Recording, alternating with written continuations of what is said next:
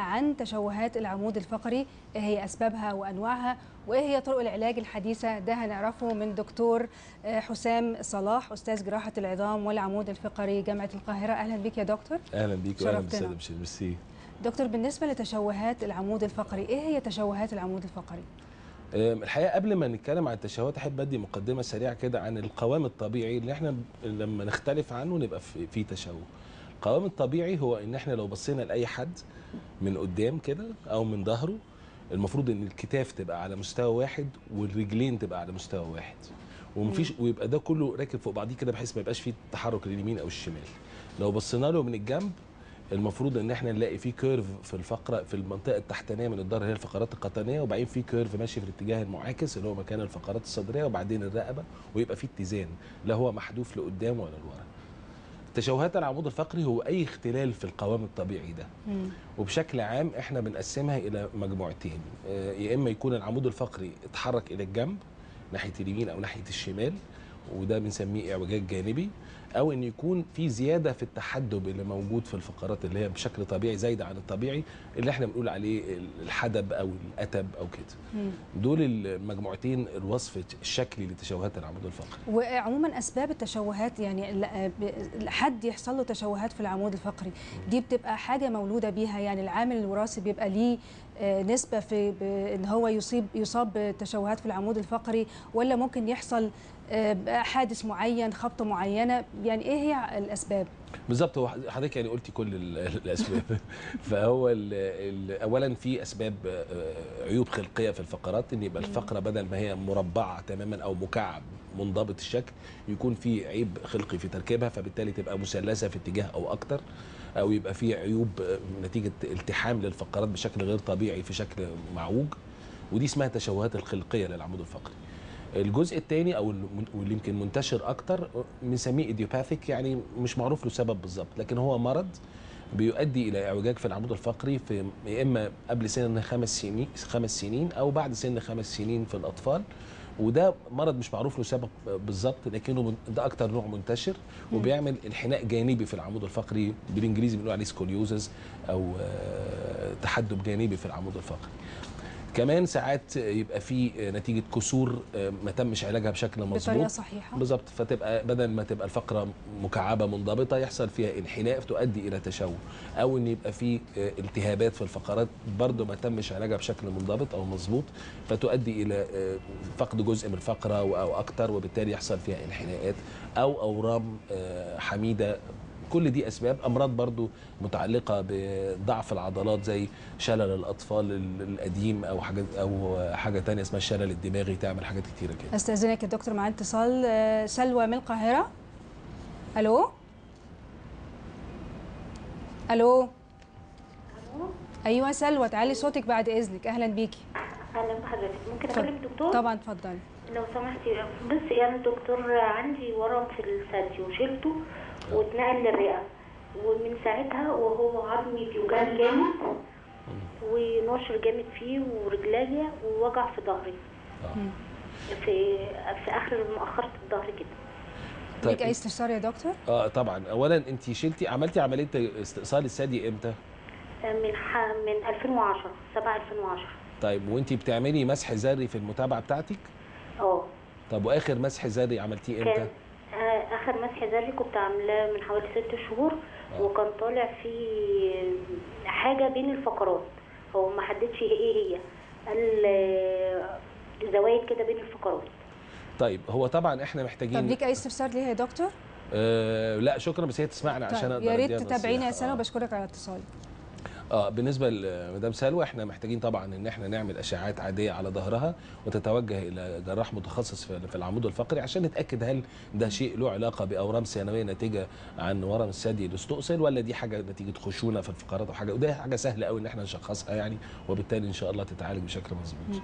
بالنسبة لتشوهات العمود الفقري هل بيكون يعني لو حد عنده تشوه في منطقة معينة بيحصل له آلام آه، وبالتالي ممكن إن هو عن نت- نتيجة الآلام دي يروح يعمل أشعة فبالتالي بيظهر آه، آه، إنه عنده تشوه ولا ما, ما بيكونش ليها أي أعراض؟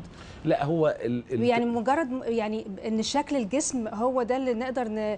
عن طريقه إن إحنا نقول لأ في مشكلة في الظهر ولا بيصاحب الألام برضو اولا أنا بحب أحييك ان أنت دايما بتسألي الأسئلة المهمة. الله يخليك. فدلوقتي اولا آه، فعلا هو تشوه العمود الفقري بشكل عام. هو تشوه بيؤدي إلى عيب في الشكل. آه، بشكل عام ده لا يسبب الام لكن في أنواع معينة من انحناءات العمود الفقري بتسبب ألم. آه، زي مرض اسمه شويرمنز أو إن يكون في الانحناء ناتج عن ورم حميد في الأطفال يسبب ألم جامد قوي فالعضلات يحصل فيها سبازم أو شد تخلي العمود الفقري يتعوج. ودي حاجة مهمة قوي الدكاترة لازم تشخصها بشكل دقيق لأن وقتها مش المشكلة في الاعوجاج هو المشكلة في الورم, الورم الحميد طبعاً. البسيط اللي ممكن يستأصل والظهر يرجع يتعدل لوحده من غير ما نصلحه بأي جراحة ولا أي تدخل مم. الحاجة الثانية إنه أحيانا الخشونة بتحصل خشونة الفقرات بتحصل مع الناس اللي عندهم انحناء في العمود الفقري أو الخ- الخشونة مع تقدم السن ممكن تؤدي إلى انحناء في العمود الفقري زي ما كنت بتقولي وطبعا وجود الانحناء ووجود الخشونة تسبب آلام وآلام متزايدة وممكن تضغط على الاعصاب وحاجات كتيرة كده طيب معانا اتصال بعد إذنك يا دكتور تهاني. ألو؟ السلام عليكم. وعليكم السلام ورحمة الله وبركاته. اتفضلي. آه، لو سمحت كنت عايزة أسأل الدكتور أنا عندي ابن عنده 16 سنة وطوله 157 وديته وديته الدكتور من كام يوم آه، غدد صماء وكده فقال لي بطن غدد صماء فقال لي ده هو عايز يتعمل له تحليل آه، غدد لأن هو تقريبا بلوغه اكتمل مع إني أنا شايفة جسمه لسه بيتغير فيه حاجات. وبس قال لي التحليل ما أعرفش هيعملوا له يوطوا له ضغطه أو له فأنا خفت عليه من التحليل ف قريت في النت ان ممكن أعمل له تع- أشعة عشان أشوف نهاية العظام عنده. هو عنده 16 إلا 3 شهور. وبابا كان كده. بابا يعني طول برضه بعد يعني ممكن وهو في مرحلة ثانوي كده برضه ما طولش. على حتى برضه بابا راح للدكتور وهو صغير وقال سيبوه هيطول فأنا عايزة أعرف هو في احتمال يطول لو سبته؟ أنا مش عايزة ألعب في موضوع الغدد. بابا طوله قد إيه يا مدام؟ بابا دلوقتي طوله يعني معدي ال 175 طب وانت طولك قد إيه؟ وأنا 158 طيب. أو 160 ممكن أجيب 160 كمان. لو وقفت على ثلاث اصابع أيوه. بشكرك يا مدام تهاني وتابعينا. هو فعلا في أطفال يعني مش أطفال يعني عند سن معين آه، يعني الشخص ممكن إن هو فجأة يطول ولا بتبقى نسب متفاوتة وبتختلف يعني عام عشان حضرتك سألتها على طبعا.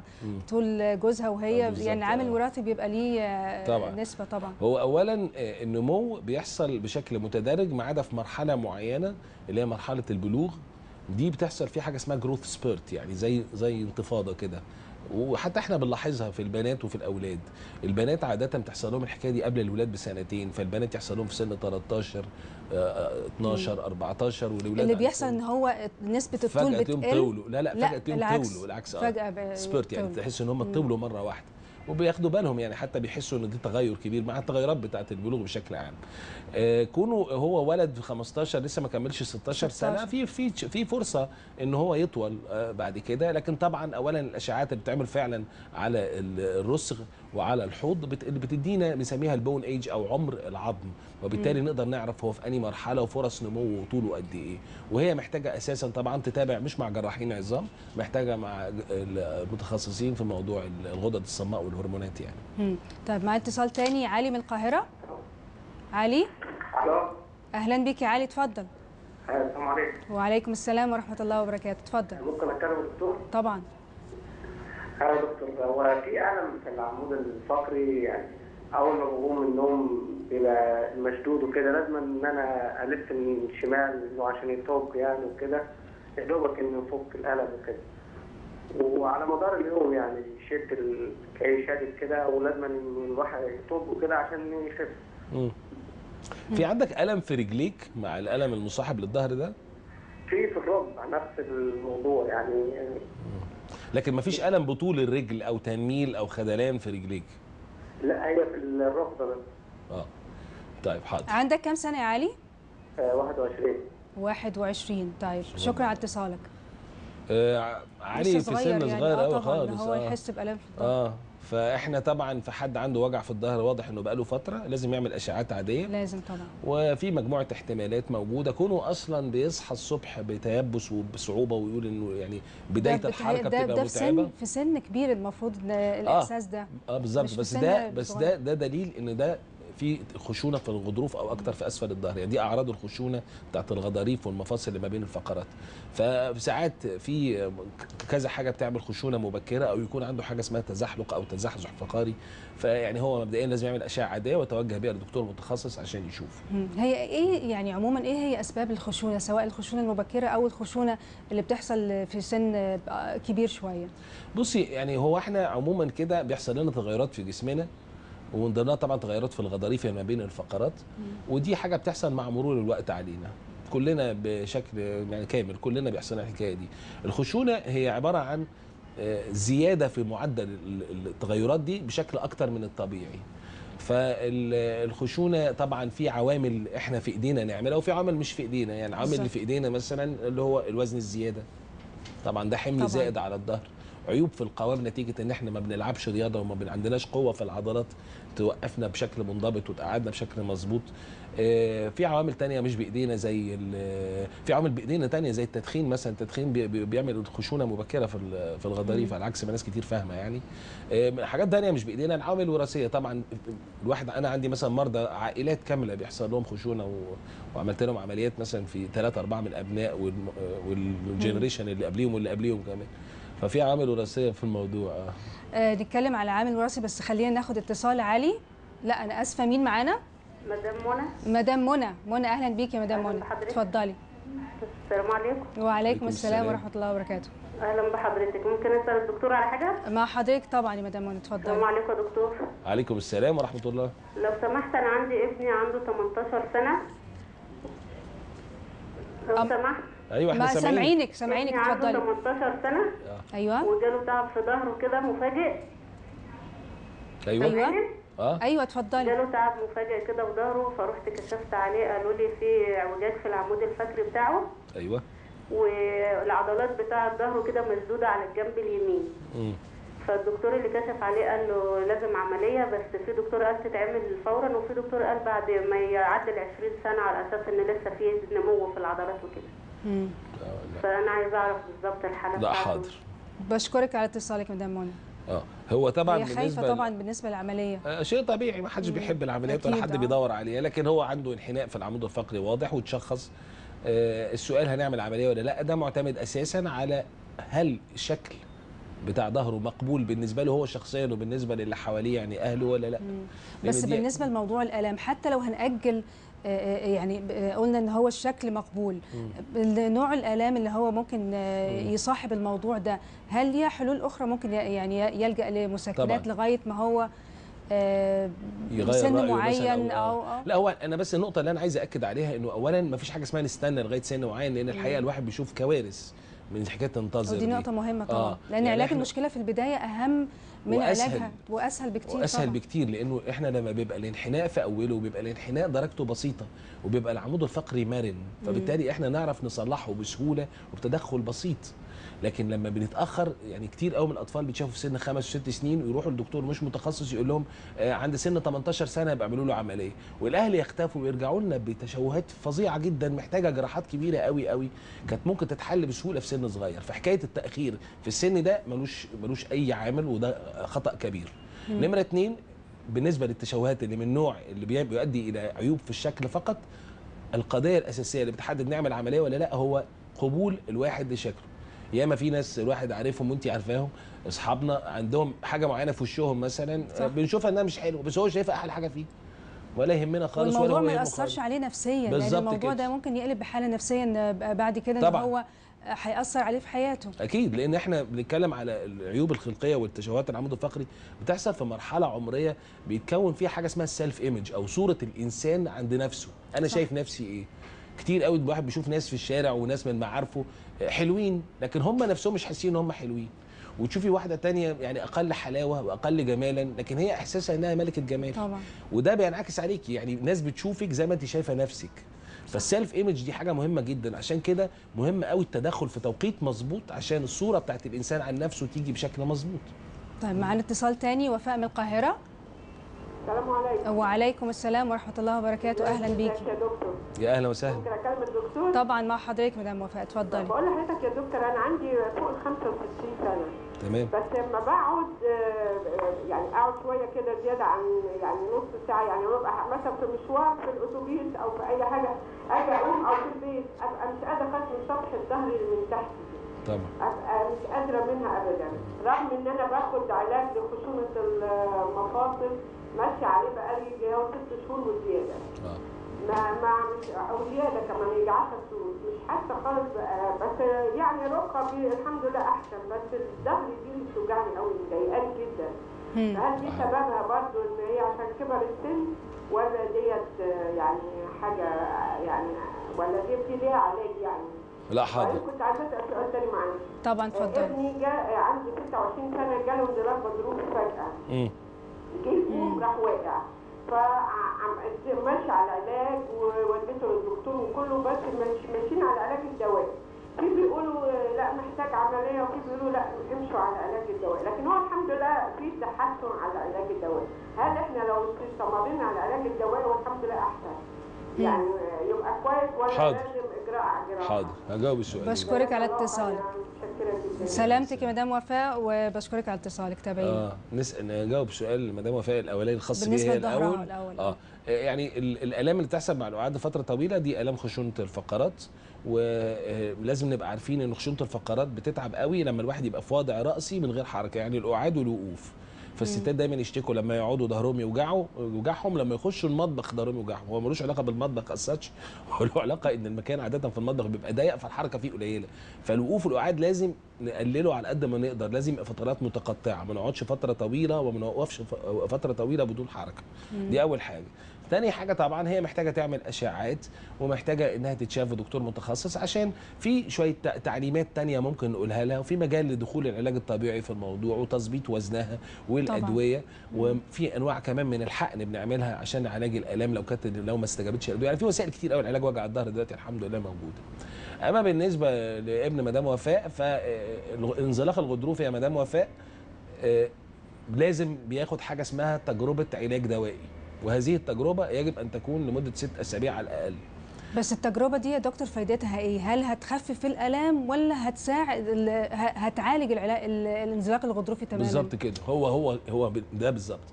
إحنا حضرتك لقينا إن إحنا لما بنلاقي لنا 100 واحد عندهم انزلاق غضروفي في 70 بيخفوا بدون عمليات وفي 30 بيحتاجوا يعملوا عملية. وما عندناش وسيلة نعرف بيهم مين اللي هي- هيخف بدون عملية ومين هيخف بدون عمل من- بالعملية من يعني من دي ما عندناش وسيلة نفرق ما بينهم. فإحنا مش أنا لوحدي يعني العالم كله بيعمل حاجة اسمها ترايل أو تجربة. بندي ست أسابيع من الأدوية والمسكنات ومضادات الالتهابات وإنه يرتاح ويصبر شوية كده ونشوف. اللي بيتحسن يبقى خف. يعني إحنا في الانزلاق الغضروفي مش مهم الغضروف راح فين ولا طلع منين ولا جه منين. ال- ال landmark أو العلامة اللي تحدد المريض خف ولا لا هو اختفاء الالام بتاعت عرق النسا اللي بتنزل بطول الرجل والأعراض المصاحبة ليه. إذا تحسن والامه راحت يبقى خف يبقى مش محتاج أي تدخل. أما المريض اللي هو بعد ال trial أو بعد التجربة دي بتاعت الأدوية ما تحسنش هو ده المريض اللي بيحتاج يا إما تدخل جراحي يا إما تدخل بوسائل أخرى آه، حقن وحاجات تانية وفي وسائل تانية radio frequency وحاجات زي كده بتستخدم داخل الغضروف. طيب مع اتصال تاني؟ ألو؟ أيوه؟ ألو؟ رحاب أهلا بيكي. السلام عليكم. وعليكم السلام ورحمة الله وبركاته. اتفضلي يا رحاب. سؤال آه مع حضرتك اتفضلي. آه، لو سمحت أنا كنت أنا متجوزة بقالي 11 سنة ولما ولدت ابني هو عنده 11 سنة دلوقتي عنده 10 سنين. أيوه. بعد ما ولدت على طول آه، جالي وجع في ظهري اتاثر الظهر جامد. ومن ساعتها آه، لحد دلوقتي وأنا بيجيلي وجع خطير جدا وقدرت مزيد مع المجهود آه، فرحت لكذا دكتور وقال لي إن هو ده التهاب في العظم.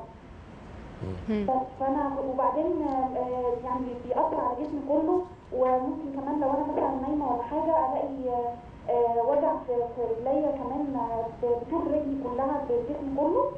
آه، وبالذات لما بقوم من النوم كمان ببقى تعبانة جدا بحس إن أنا لسه محتاجة راحة كمان. فأنا عايزة أعرف يعني ده ممكن يبقى حاجة لازم اعملها اعمل له اشاعه ولا هو ده فعلا التهاب زي ما هو قال وأفضل ماشي على العلاج بتاعه؟ لا حاضر. خلاص تابعينا بشكرك على اتصالك مدام وفاء. رحاب. آه نجاوب لرحاب بقى. ال- آلام الظهر بعد الولادة والناتجه عن الحمل فيها مجموعة حاجات لها علاقة بالحمل. آه لكن وأكيد كونه ممكن تبقى زيادة الوزن. لو في زيادة في الوزن أثناء طبعاً. الحمل ده يبقى طبعا. ليه ده. فاكتور طبعا أو عامل من العوامل. لكن كمان في حاجات بتحصل آه، ما قبل الولادة.